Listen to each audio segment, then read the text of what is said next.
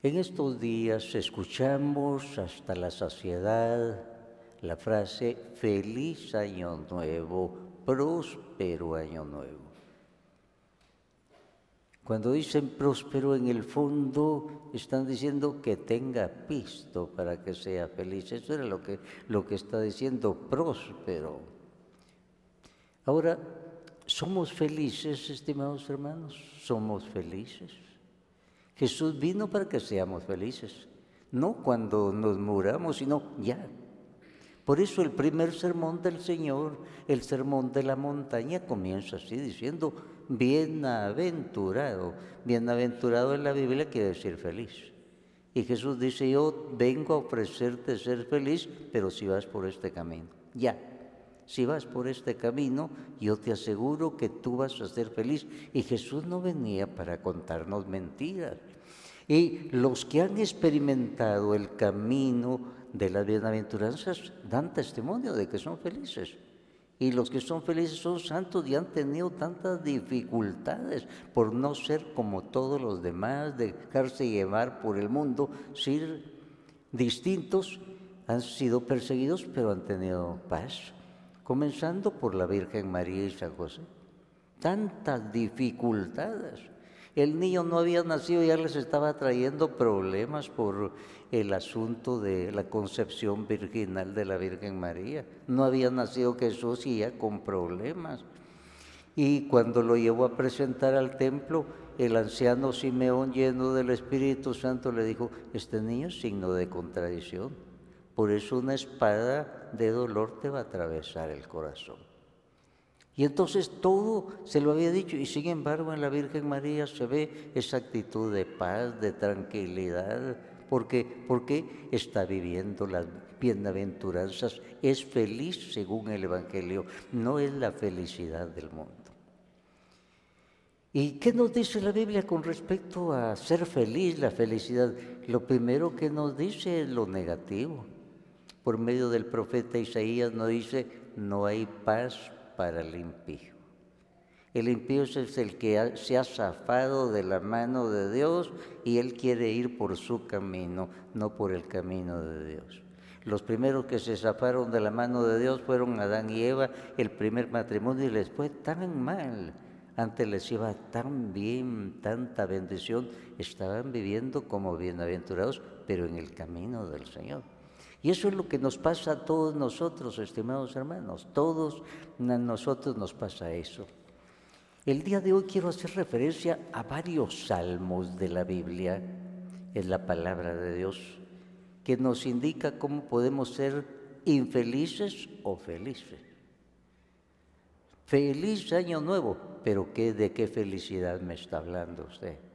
Yo quiero la de Dios nada más, no la de plástico que el mundo me ofrece. San Pablo en el Salmo 32 cuenta su experiencia.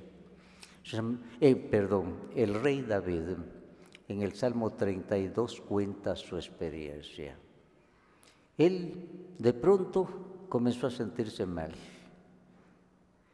El Salmo 32 comienza diciendo, Feliz aquel a quien sus culpas le han sido perdonadas, pero él no está perdonado en ese momento, está viviendo en adulterio.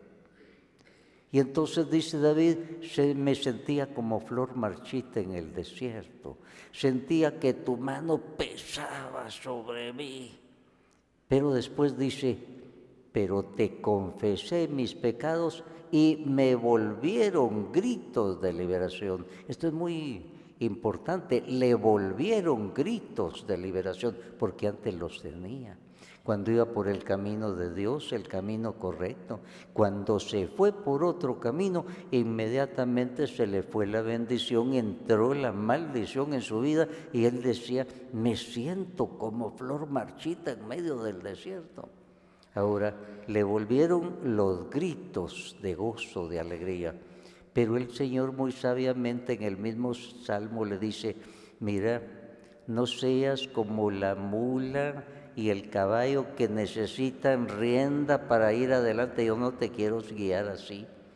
Y es lo que el Señor nos dice, miren hijos, yo no los quiero guiar a ustedes a riendazos, como un caballo. Yo quiero que vengan conmigo por las buenas, no que tenga que disciplinarlos. A David tuvo que disciplinarlo el Señor, se había metido en adulterio y entonces se sentía flor marchita, la mano de Dios pesaba sobre él y es lo que el Señor nos está diciendo. Salmo 32, hijos, Dios los quiero felices. El Salmo comienza diciendo, feliz tú cuando tus culpas han sido perdonadas. Otro salmo que nos puede ayudar, el Salmo 1 de la Biblia.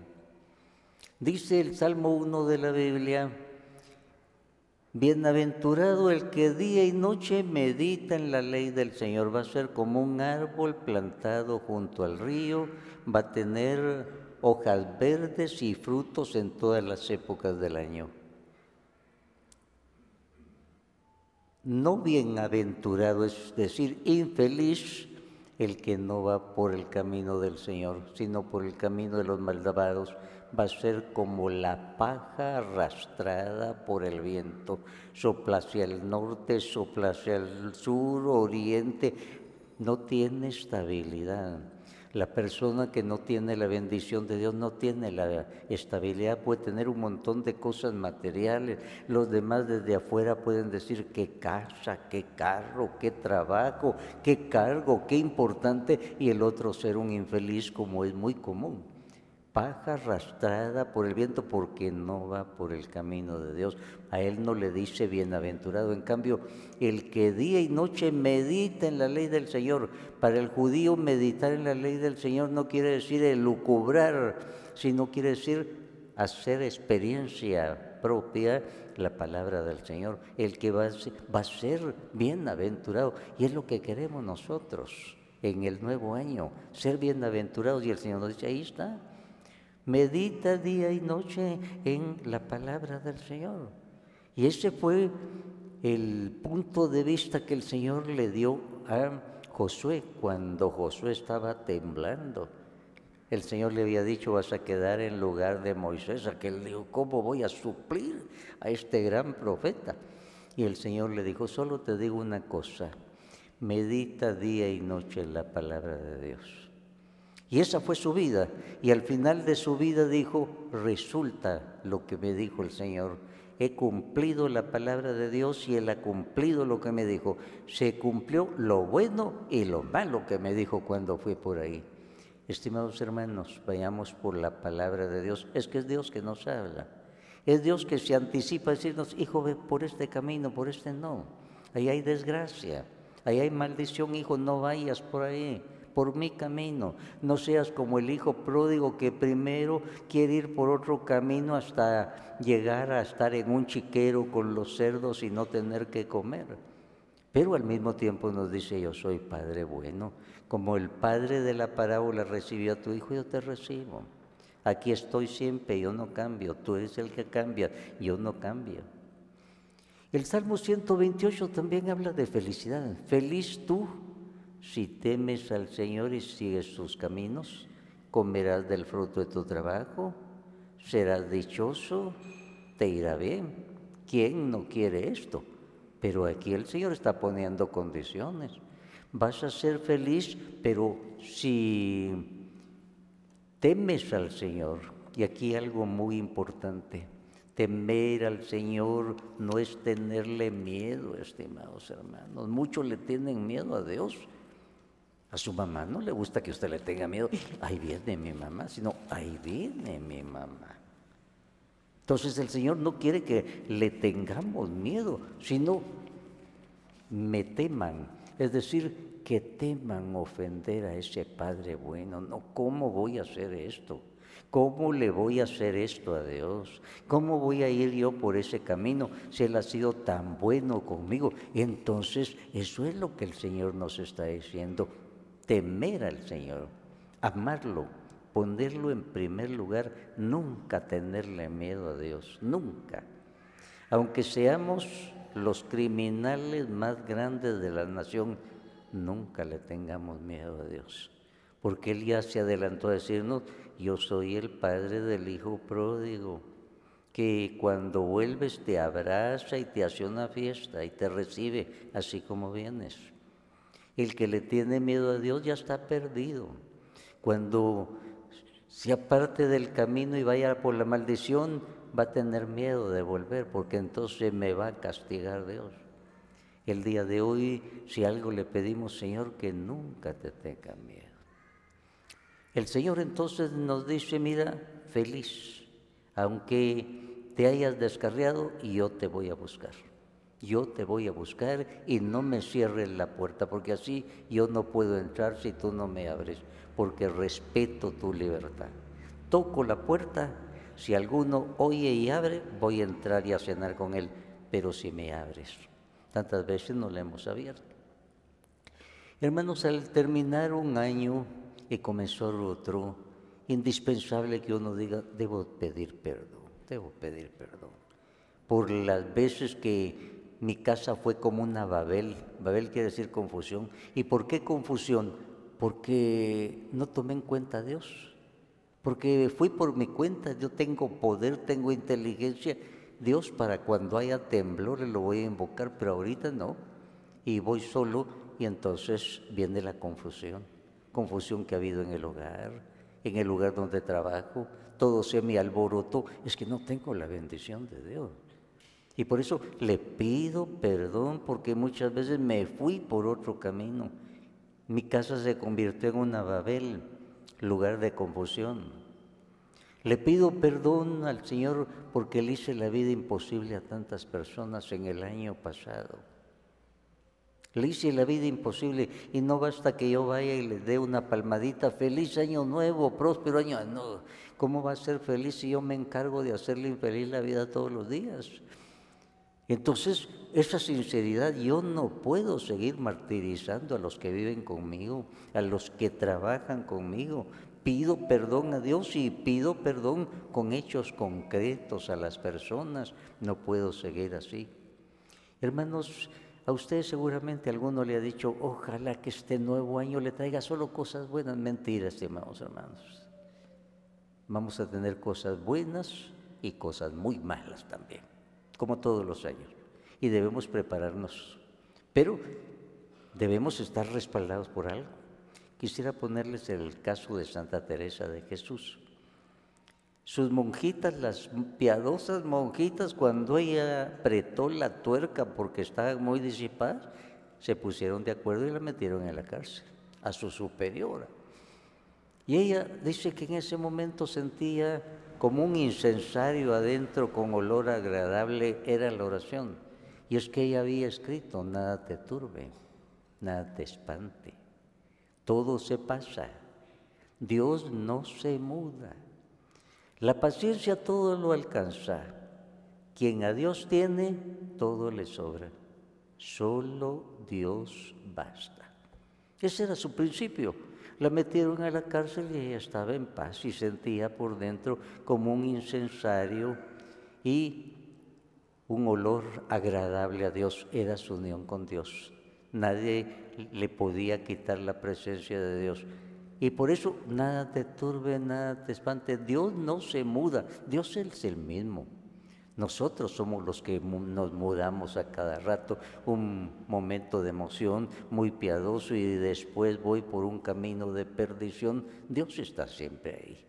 El padre del hijo pródigo se quedó esperándolo siempre. Y cuando a lo lejos, él fue el que salió corriendo a recibirlo. Ese es Dios. Dios no se muda. Y por eso quien a Dios tiene, todo le sobra, solo Dios basta. Dios está con nosotros. ¿Qué sabía la iglesia? Que al comenzar el año nos pone la fiesta de María, Madre de Dios. Eso de Madre de Dios no se lo inventó la iglesia, es una revelación del Espíritu Santo. Cuando la Virgen María fue a visitar a su prima Isabel, iba embarazada, es decir, llevaba a Jesús en su seno. Y apenas Jesús entró en aquella casa, se derramó ahí el Espíritu Santo como un Pentecostés. Isabel quedó llena del Espíritu Santo y fue ella la que llena del Espíritu Santo la Virgen María le dijo, bendita entre todas las mujeres.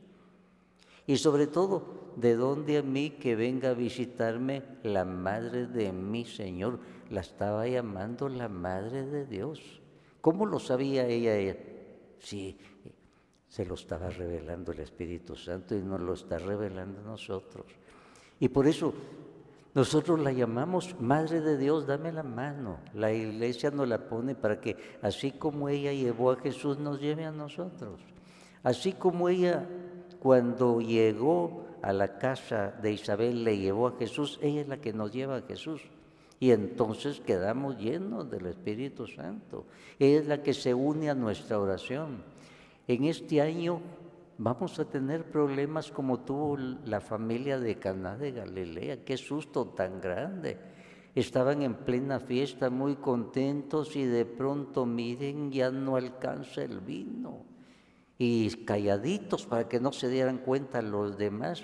Pero la Virgen María, que seguramente era familiar y estaba ahí, se dio cuenta y fue donde Jesús, hijo, no tienen vino. Y esa plegaria de la Virgen intercediendo por aquella familia en problemas hizo que Jesús obrara su primer milagro. Hermanos, este año vamos a tener muchos problemas, todos los años. Que nadie vaya a fantasear, yo no, este año no, todos. Vamos a tener cosas muy bonitas y cosas muy desagradadas y hay que estar preparados. Y que cuando llegue ese problema de Cana de Galilea esté la Virgen con nosotros que no tengan, vayan a buscar a la Virgen María, no, que esté ya en nuestra casa, que Jesús esté en nuestra casa. Nunca deben faltar, Jesús nunca llega como visitante, llega como el Señor de la casa. La Virgen María está donde está Jesús y así como ella les llevó a Jesús a los de la casa de Isabel, pues también ella está para eso, para recordarnos eso. Que nadie esté pensando entonces solo cosas bonitas nos van a venir, no, de ninguna manera. Estemos preparados para todo, con optimismo, con alegría. Solo Dios basta. Si estamos con Él, estamos seguros. ¿Va a haber problemas? Sí. El Señor ya nos dijo en el Salmo 27, el Señor es mi luz y mi salvación. ¿A quién le voy a tener miedo? Aunque un ejército se venga contra mí, ellos van a caer. ¿Por qué? Porque el Señor es mi luz y mi salvación. Estimados hermanos, démosle gracias a Dios por todos los beneficios que nos concedió en el año que pasó. Démosle gracias a Dios, nos salvó de tantas cosas, nos bendijo superabundantemente, no lo merecíamos nada. Y pongámonos bajo su protección pidámosle que no nos falte nunca el Espíritu Santo, que es lo principal. Hermanos, con gozo, con alegría, recibamos el año de bendición que el Señor nos promete. Y yo no les digo solo feliz año nuevo, sino muy bendecido año nuevo para todos ustedes. Que así sea para todos nosotros.